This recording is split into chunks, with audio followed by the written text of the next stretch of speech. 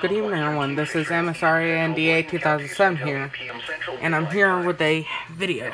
A video.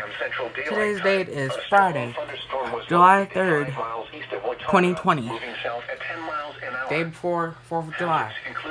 And we've just, and there's just been a severe thunderstorm warning issued by the National Weather Service in Norman on WXK 5. Um, my WR120 is the only one that went off for because it's the only one set up for all counties.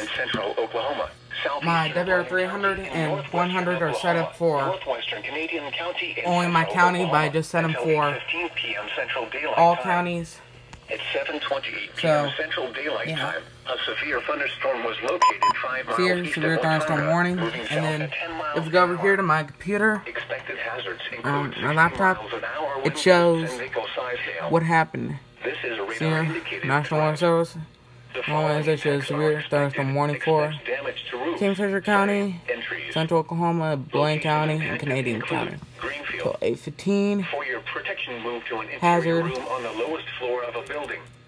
So Significant weather advisory for southwestern Heat advisory. East Central Blaine County there's still heat 8 advisories that are still in effect. At 7:21 p.m. Central Daylight Time, So- a strong thunderstorm was located So, five miles east of yeah. Watonga, moving south I'll keep 10 you. So yeah, if I get any other alerts hail I'll be sure to to film them the because I've got all three radios playing Locations weather impacted radio. include Greenfield and Omega. WXK5 at this time. Monitor the weather situation closely and be alert for threatening weather conditions. The National Weather Service in Norman has issued a severe don't know if you can hear thunderstorm warning for the southwestern Kingfisher County in Yeah. central Oklahoma, southeastern Blaine County in northwestern Oklahoma, northwestern Canadian County in central Oklahoma until 8:15 p.m. Central Daylight Yeah. Time.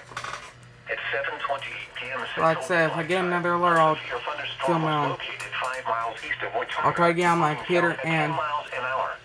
on these. So, yeah. include 60 I'll keep you gusts. But for now, thanks for watching. That'll be it.